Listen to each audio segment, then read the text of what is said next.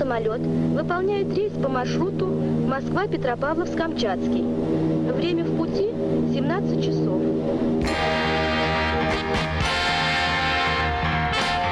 Всем привет! С вами снова Орел и Решка. Мы только вышли из самолета, тут уже такая красотища.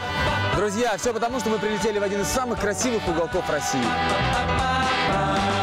Орел. Решка. Привет, Камчатка.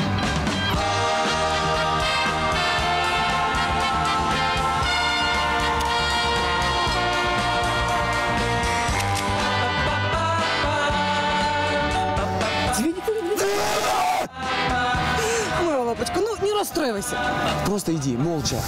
А, вот туда, где миллионеры ложкой газ- икру едят, да, вот это в то место? Ну, Я бы сказал, в какое место тебе идти, Настя, но лучше вот туда, да.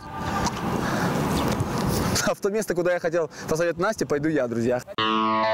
Камчатка – это полуостров на самом краю России. Камчатка – это край географии. Настоящая тму-таракань за три девять земель. На Камчатке под ногами горит земля, озера наполнены кислотой и ходят медведи.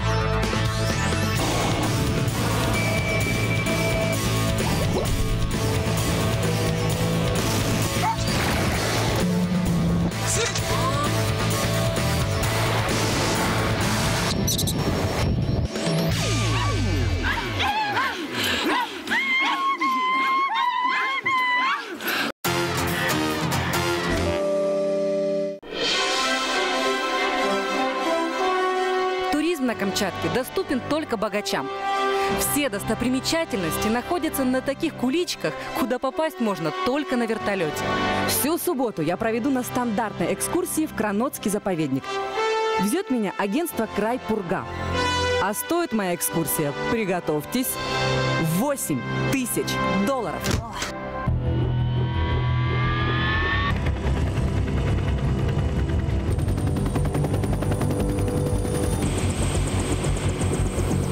Из-за нереальных цен на экскурсии на Камчатке обычные туристы сюда не ездят, только богачи. Даже не знаю, что Андрей будет здесь делать. Все бюджетные путешественники, прилетая на Камчатку, сразу же отправляются в Петропавловск-Камчатский. Автобус номер 102 всего за 40 рублей довезет вас до автовокзала. Really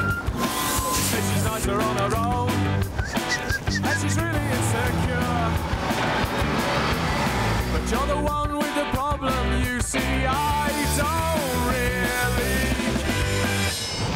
Первое, что меня встречает, это автостанция.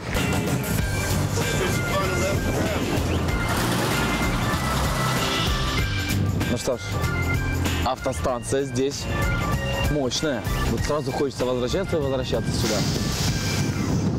Валим отсюда, валим. Где маршрутка?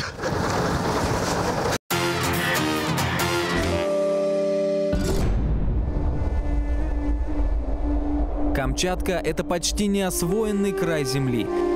Единственный крупный город на полуострове – Петропавловск-Камчатский. Расположился он у подножья трех вулканов, на берегу огромного океанского залива. Камчатка – это суровый край. И даже сейчас, в августе, лежит снег.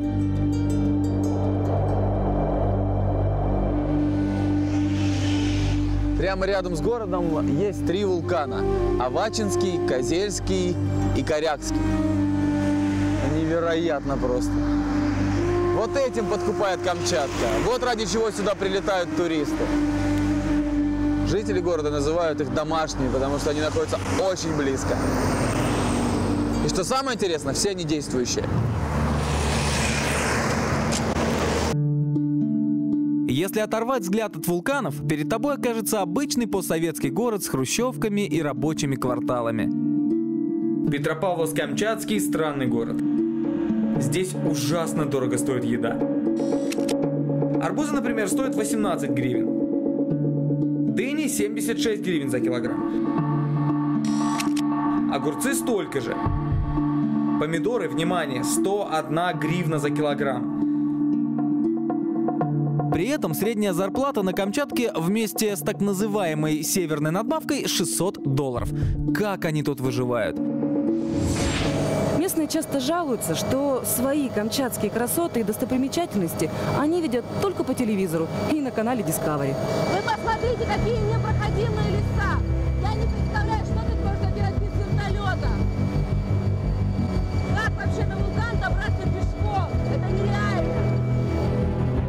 Тайга. Насколько хватает глаз ни дорог, ни полей, ни поселений. Здесь до сих пор хозяйничают олени, волки и медведи.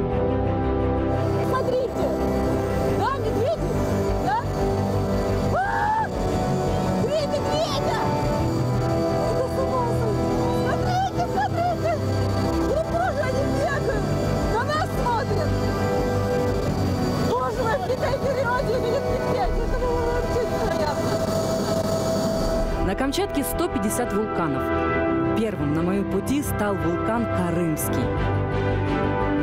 На его склонах видны колоссальные потеки лавы, которые выжигают в округе все на своем пути. Подлетая к кратеру вулкана, испытываешь какой-то детский восторг. Вулкан! Настоящий вулкан!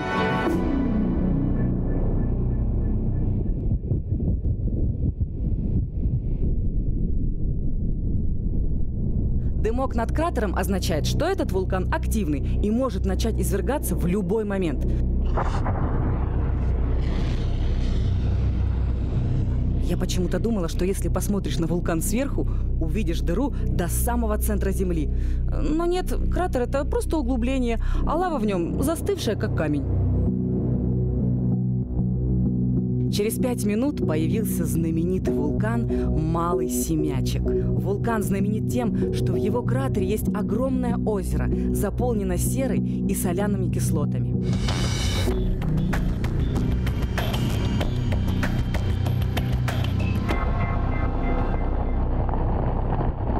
Если человек решит в нем искупаться, то растворится без остатка.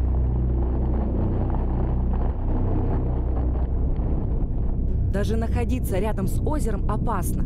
От едких испарений можно легко получить ожог легких.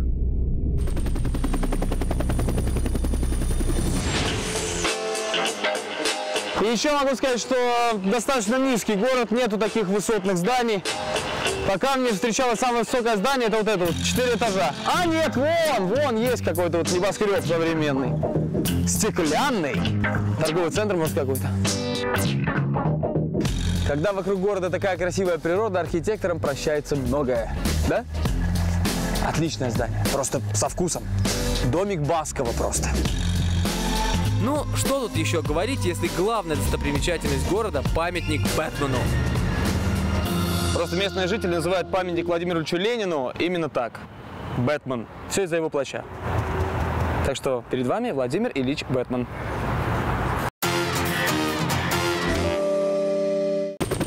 Следующий пункт моей экскурсии – долина гейзеров.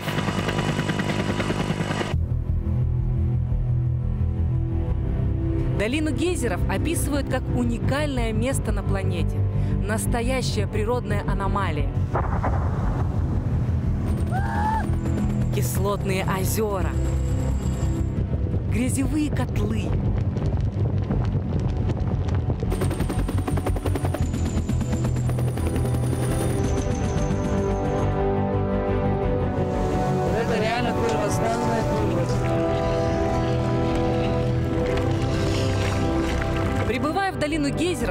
Сразу будто переносишься на миллиарды лет назад.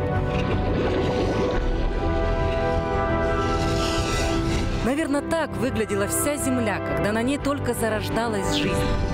Все кипит, клокочет, дымит и жутко пахнет сероводородом. Ну, знаете, как тухлые яйца пахнут.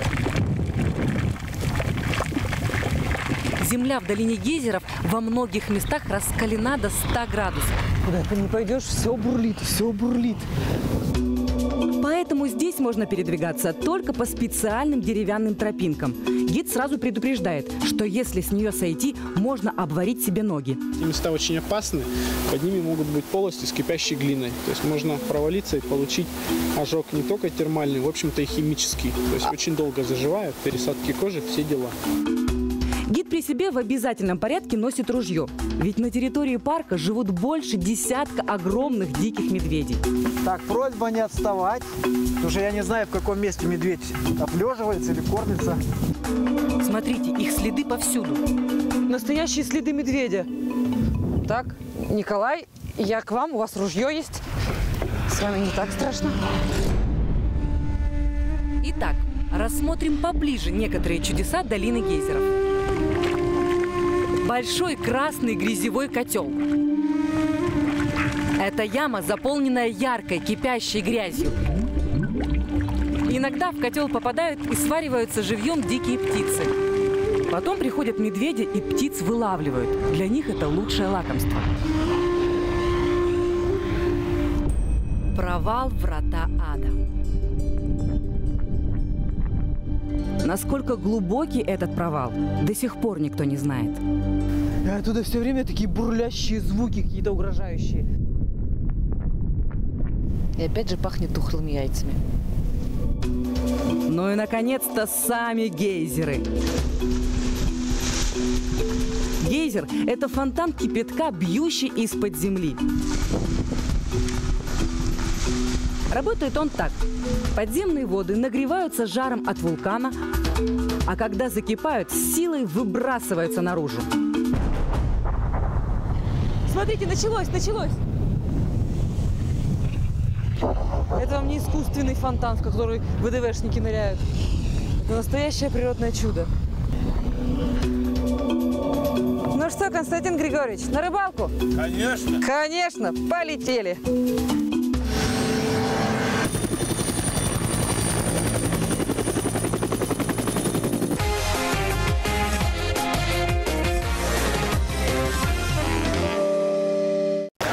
Вот так вот выглядит рынок Петропавловска-Камчатского. Огурцы, помидоры, морковка, грибы. Но это не самое главное.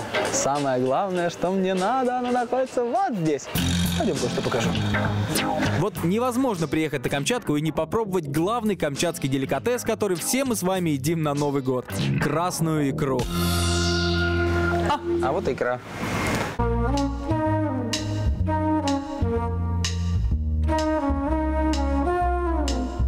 У нас всю красную икру называют лососевой, но на Камчатке различают целых пять видов красной икры. Горбуша, кита, нерка, кижуч и чавыча. Что приятно, на местных рынках икру дают даже пробовать бесплатно. Ну что, Ребзя, сейчас оценим, чем же отличается красная икра от красной икры. Давайте вот самый вкусный начнем. Икра горбуши. Это знакомая нам красная икра, легко лопается. Ой, это мне, если честно, как-то не очень вообще понравилось. Икра чавычи. Эти икринки самые крупные. У этой чуть островатый привкус. Ну, это на любителя.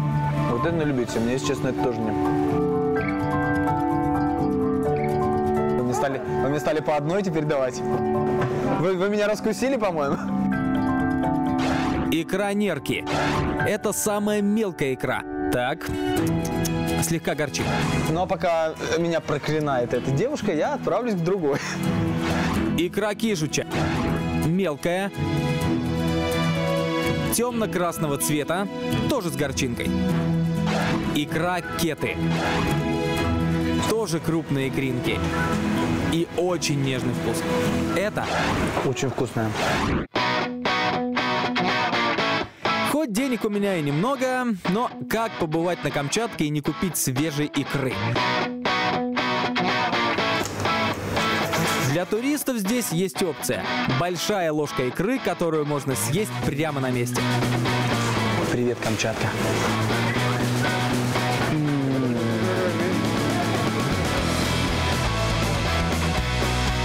Удивительно, но раньше на Камчатке красную икру не ели. Она считалась отбросом. Ее сушили в брусках и кормили зимой ездовых собак. Икра очень калорийная, поэтому одного брусочка собаке хватало на целый день. Спасибо, до свидания. До свидания. Вкусная икра у вас хорошая. А еще я купил себе в дорогу орешков. Такой перекус для бюджетного туриста в самый раз.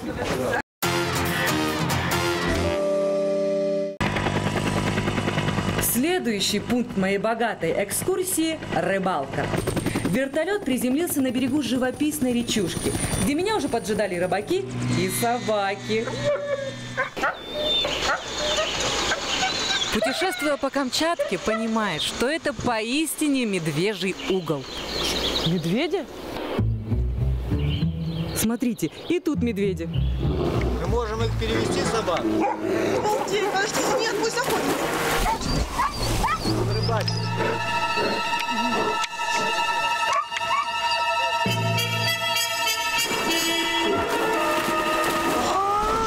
не кричи. кричи.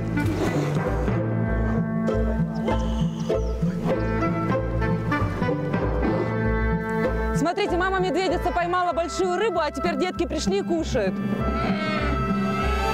Кожу с рыбы она сняла и съела, а мясо оставила медвежатам.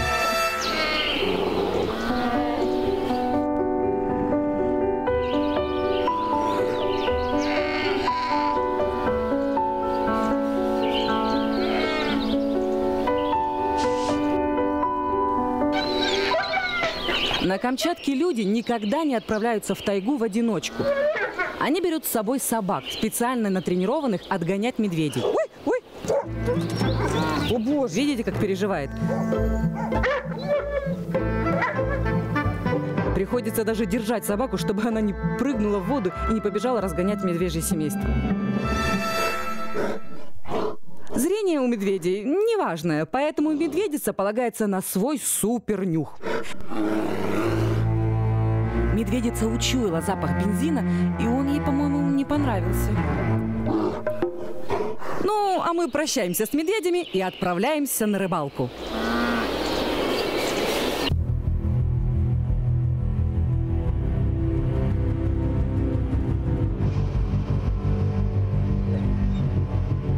На Камчатке ты в полной изоляции от окружающего мира.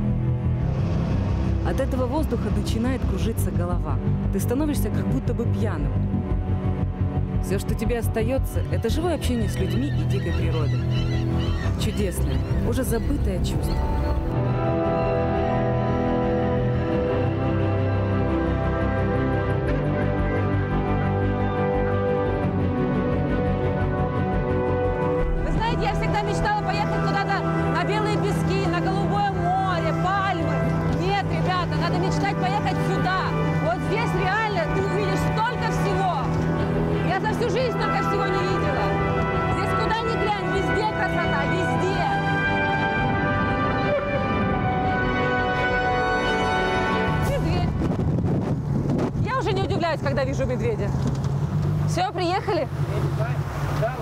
Поехать на Камчатку – это мечта каждого рыбака. Все.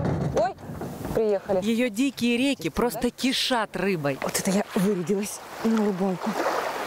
На Камчатке принято ловить нахлыстом с помощью приманки, напоминающей упавшее в воду насекомое. Давайте,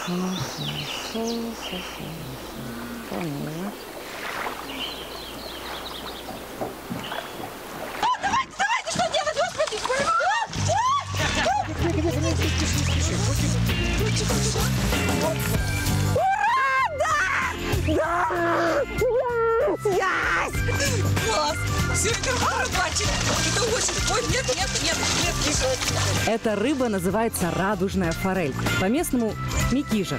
Микижа очень редкий вид, и поймать ее – огромная удача. Боже мой, дайте мне ее потрогать. К сожалению, микижа занесена в Красную книгу, и ее придется выпустить. Ой, ой, уплыла, уплыла моя рыба. Ну что вы? Ну что надо было отпустить, но не так быстро. Я хотела еще пообниматься с ней.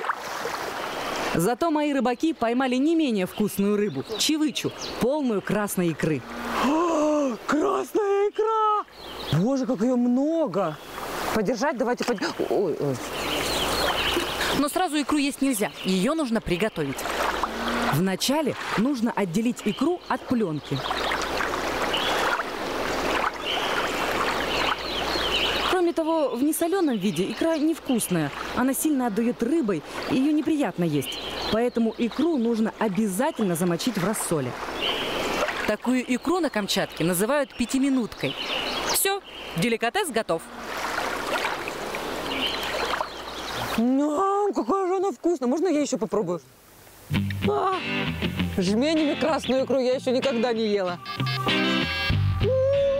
Такое можно прочувствовать только на Камчатке.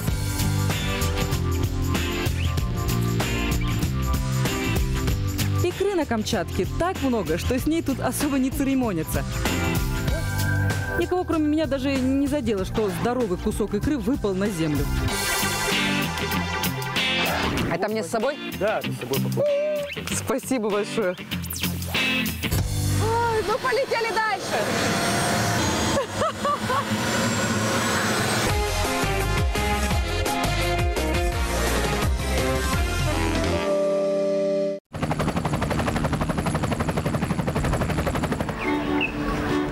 Лучший отель для богатых на Камчатке – «Северное приключение». В этой гостинице у меня будет не просто номер, у меня в распоряжении будет целый дом с видом на озеро, на горы, в лесу, ох, собственный бассейн, между прочим, с термальной водой. Надо будет окунуться. Ничего особенного. Единственное, что поражает – чучело животных. Просто владелец отеля – охотник и украсил своими трофеями весь отель.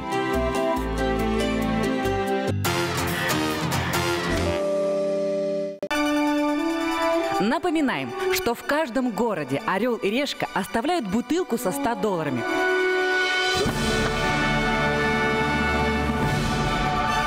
Координаты клада. Петропавловск-Камчатский. Северный склон Мишенной сопки.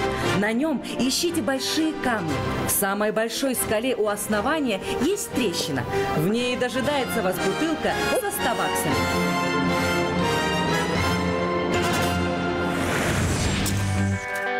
Найти бесплатный ночлег в Петропавловске-Камчатском очень легко. Дело в том, что город находится на краю земли, и любой новый человек вызывает неискрываемый интерес у местных жителей. Они с нетерпением ждут рассказов с большой земли. В таких условиях глупо не воспользоваться каучсерфингом. Напоминаю, что каучсерфер – это такое сообщество людей по всему миру, которое совершенно бесплатно предоставляет ночлег путешественникам. Камчатский каучсерфер Леша оказался еще и просто серфером. Выяснилось, что сейчас он живет со своими друзьями в палаточном лагере на пляже рядом с Петропавловском. Там и можно будет бесплатно переночевать. Сейчас поздно, и чтобы добраться до пляжа, нужно воспользоваться такси. Скажите, а меня интересует до Халактырки доехать. Сколько будет стоить? 100 посадка 40 километров. Ну, ну, можете цену озвучить? Я просто не знаю, сколько до километров. 300. Где-то 350? Отлично, все подходит. Спасибо. Поехали.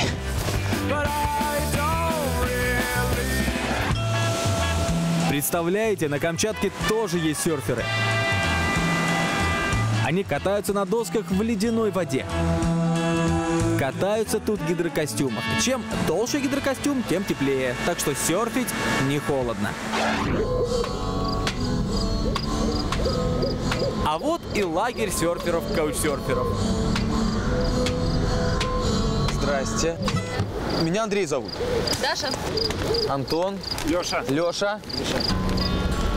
Вот как выглядит жизнь камчатских серферов. Дикий пляж, температура плюс 8, сыро, промозгло, очень холодно. Все в шапках и кутаются в теплые куртки. Узнав, что я сегодня почти ничего не ел, принялись готовить лосося. Представляете, эту здоровенную рыбину они сегодня собственноручно поймали на удочку. Как у нас там, я не знаю, какого-нибудь подлещика.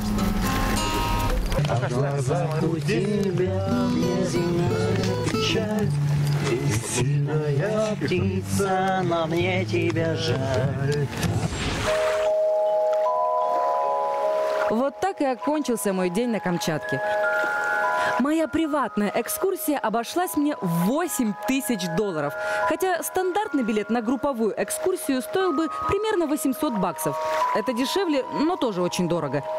Теперь понятно, почему местные с зарплатой 600 долларов видят свои красоты только по телевизору. Кроме как на вертолете, к ним не подобраться. Теперь, я надеюсь, вы поняли, почему весь первый день я просидел в Петропавловске-Камчатском.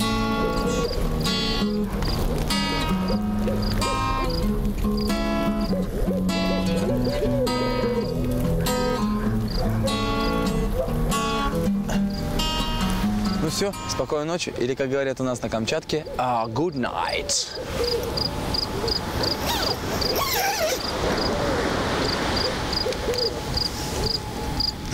Мышь!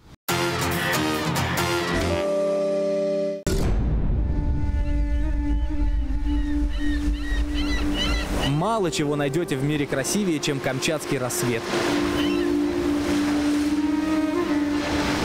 Такой коралловый цвет небу придает мельчайшие частички вулканического пепла в атмосфере. Доброе утро. Оно здесь у меня не только доброе, но и очень красивое.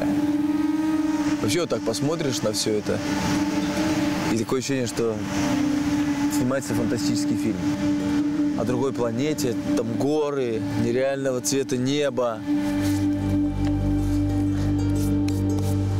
Калахтырский пляж очень необычный. Песок здесь черного цвета, потому что представляет собой измельченную лаву из соседнего вулкана. Как может быть так красиво?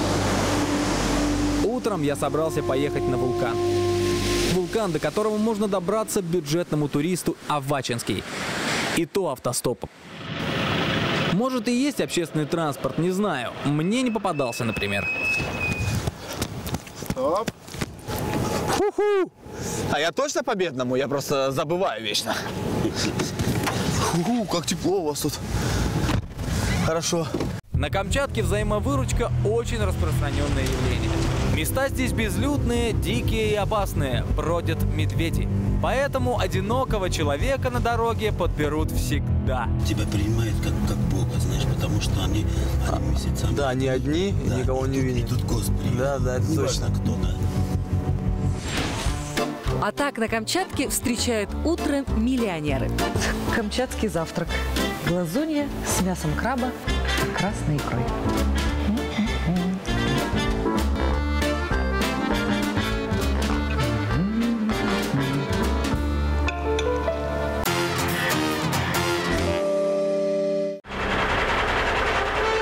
Колесная формула 6 на 6. Клиренс 400 миллиметров. Лучшая техника для поездки в жерло вулкана.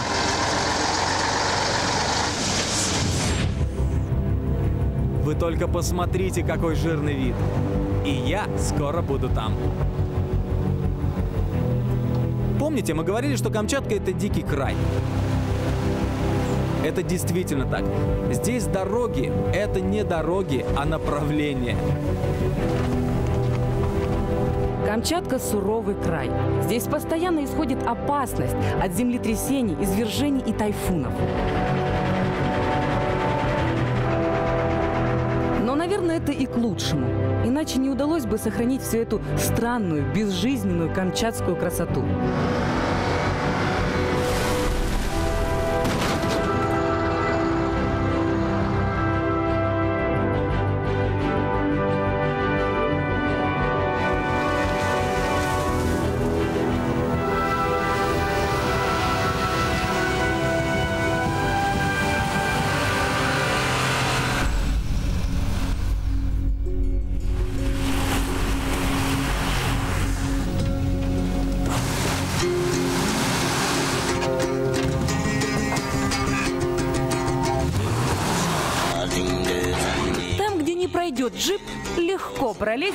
Урал.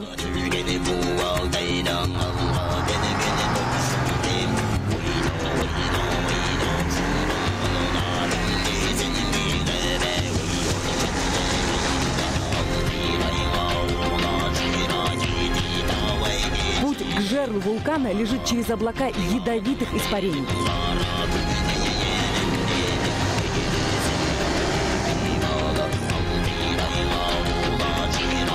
Камчатка – это то место, где нужно просто молчать и созерцать.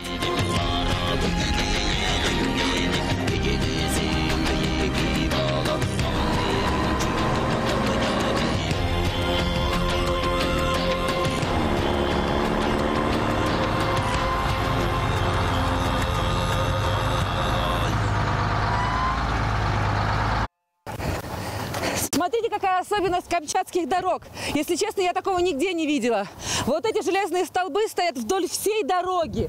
И они служат для того, чтобы когда здесь засыпают все снегом, они работают как ориентир. Люди видят, что из-под снега торчит столб и понимают, что здесь дорога.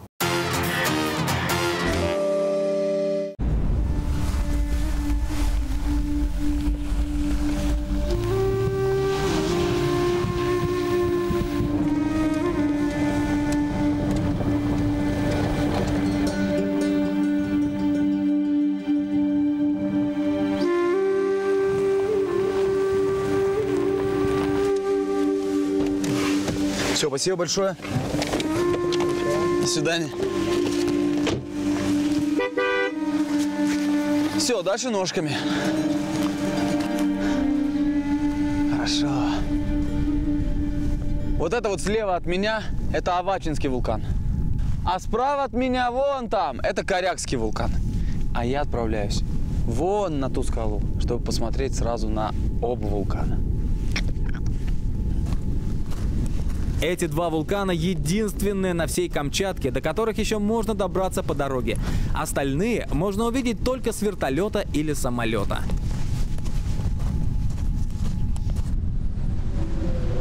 Путь на скалу пролегает по полям из черного снега, смешанного с вулканическим пеплом. Ходить тут опасно. Кажется, что шагаешь по твердому камню, но на самом деле это хрупкий снег. Вон, видите? Просто очень-очень грязный. Он может провалиться в любую секунду, и ты упадешь в расщелину. Так что, пожалуйста, не делайте так, как я.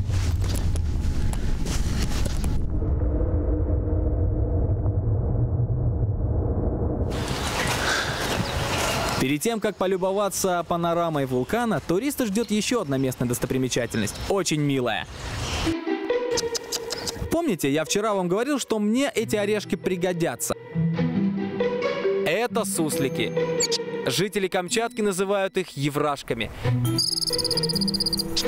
Местные еврашки настолько разбалованы вниманием туристов, что совершенно не боятся. крутяк! Давай. Все, понабирал полной щеки, убежал. Будьте уверены, как только вы дадите орешек одному суслику, тут же со всех концов начнут сбегаться остальные. О, Степан Николаевич отогнал всех. Все, извините, Степан Николаевич, кушайте, кушайте, все нормально, все свои, я свой. Еврашки очень смешные и, кажется, специально живут тут, чтобы повышать настроение путешественникам. Поверьте, сколько бы орехов вы с собой не взяли, все равно будет мало. Ты? Вкусно? Оставь мне кусочек. Ну, кусочек оставь. Оставь кусочек. Жлоб. Все, съели у меня все орехи. Так что, если попадется мне на пути медведь, кормить буду его не орехами, а оператором.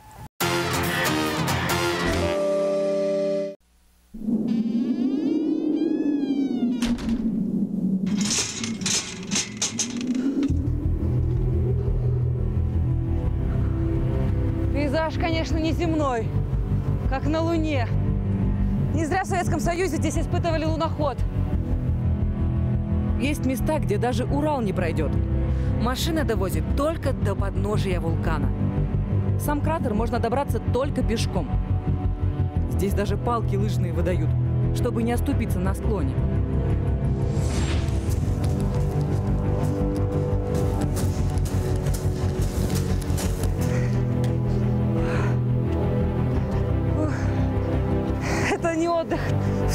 На лежаке загорать. Находиться на вулкане достаточно опасно. Видите вот этот крест? Это парень упал в расщелину, а там плюс 300 градусов.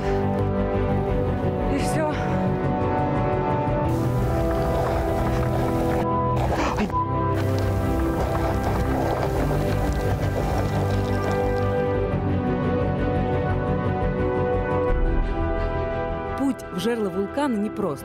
Идти приходится по крутым осыпям. Это странные, величественные, красивые, но злые места.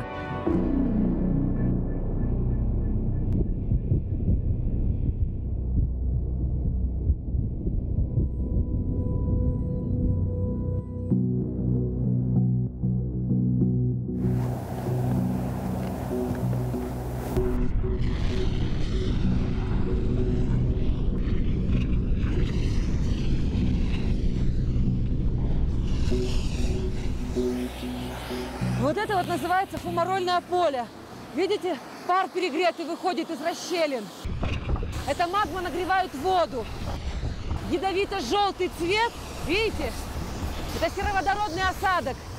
Если подойти сюда близко, можно провалиться и сразу, естественно, свариться, потому что там плюс 300 градусов.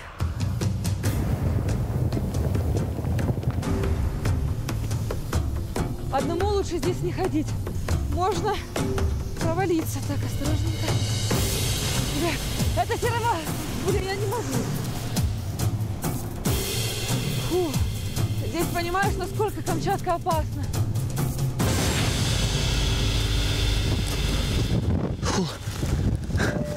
Еще чуть-чуть.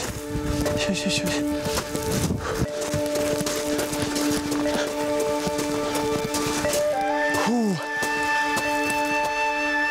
Прошло и трех часов, как я забрался на эту смотровую площадку. Здесь, вот э, с верхней точки можно увидеть, что вся территория, вплоть до горизонта, вся усыпана вулканами. Отличное место я выбрал для себя. Здесь виден и Авачинский вулкан, и Корякский. У каждого вулкана свой характер. Корякский, например, спокойный и десятилетиями может только чуть-чуть дымить. А тот, знаете, такой вот более пафосный.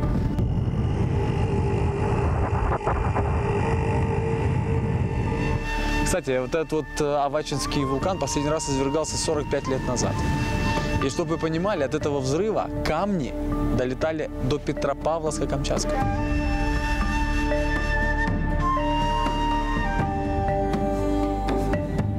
Так, ладно. Оттягивай, не оттягивай этот момент, но все равно спускаться надо.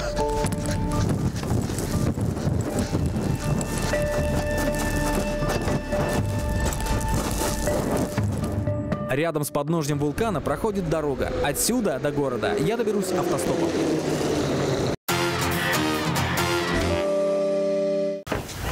Вот заехала посмотреть, как живут коренные народы Камчатки. Какой шлагбаум интересный. Когда на Камчатку еще не пришли русские, здесь обитали три коренных народа. Коряки, итальмены и эвены. Коренные народы развлекали себя разными играми и плясками. Танцы и обряды коренных народов Камчатки пропитаны эротикой. Богатый турист может заплатить, чтобы ему показали, как это было.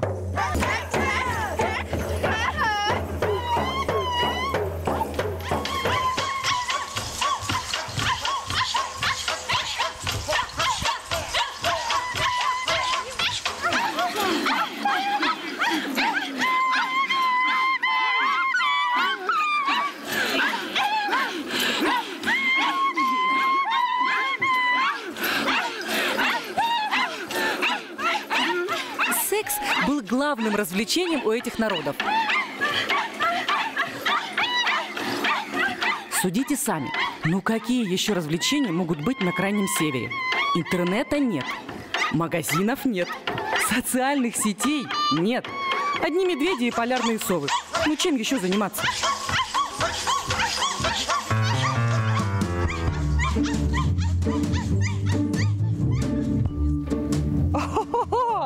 Это танец любви между мужчиной и женщиной. Да? Он своими движениями говорит, я тебя люблю. И девушка отвечает. Это такой самый, вот, э, наверное, романтичный. романтичный танец, да, но в то же время очень откровенный, очень откровенный. Потому они такие откровенные, что они просто все- всех, всех, всех, всех, всех э, возбуждают. Э, В танце очень важно правильно подкрикивать. Ну такой подкрик, я вам скажу. И теперь Алексей вам на ухо, на, такой, на горловит, да, а вы ему отвечаете. Три, четыре.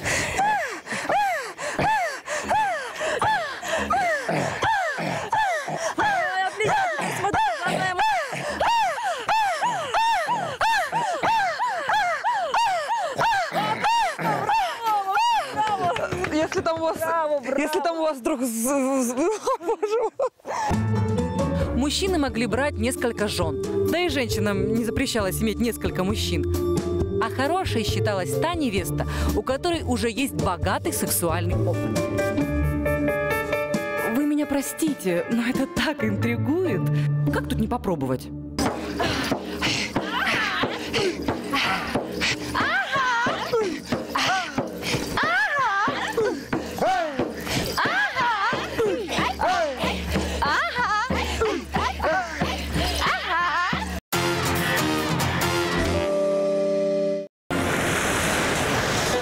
Это Петропавловская губа. Здесь самые красивые закаты в городе. Э, Сюда приходят местные жители вечерами, смотрят на воду и провожают солнце. Очень романтичное место. Камчатка – нереально крутой край. Такие удивительные места во всем мире можно пересчитать по пальцам. Но Камчатка доступна только тем, у кого очень много денег. А если у вас 100 долларов, друзья, то вам остается только сидеть в Петропавловске-Камчатском и надеяться на чудо. Три медведя!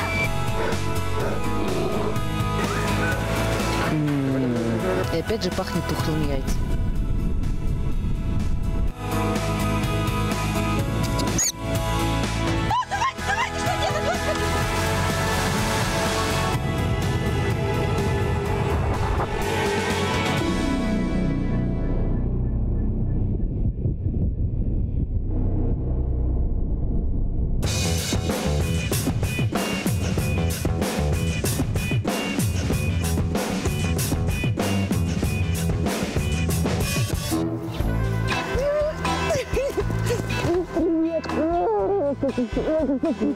Сто лет тебя не видел. Два дня ты всего меня Как дела? Отлично. Такая природа. Я два дня по Камчатке носилась, но за это время только на один вулкан успела залезть из 300. Ну, успела залезть. А я не на один, Настенька. Только Не на один? так глазочком взглянул со стороны на них и все. Ну, знаешь, Природа какая крутая. Я бы сюда с удовольствием приехал. Но знаешь, вот тяжело на 100 баксов. Знаешь, как тяжело? Реально, здесь очень дорого.